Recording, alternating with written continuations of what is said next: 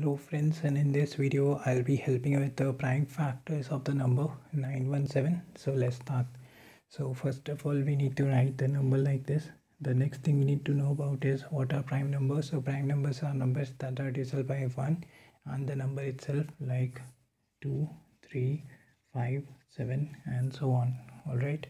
So we'll check with the lowest prime number we have that is 2. Is the number 917 divisible by 2? No it is not because number is odd so we'll check with the next lowest prime number. That is 3 3 3 is a 9 1 7 3 5 is a 15 2 left. It is not divisible by 3 also. Let's check with 5 the last digit is neither 5 nor 0 so it is not divisible by 5 also.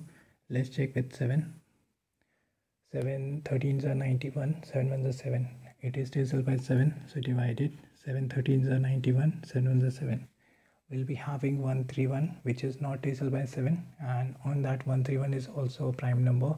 So it is only divisible by itself that is 131 and once we do so we'll be getting 1 once we get 1 we need to stop and do one last thing. That is prime factor of 917 is equals to multiply whatever we have on the left hand side. That is 7 cross 131 that will be the answer so this is all about prime factors of the number 917 so if you found the video helpful please do the like button. Do consider subscribing.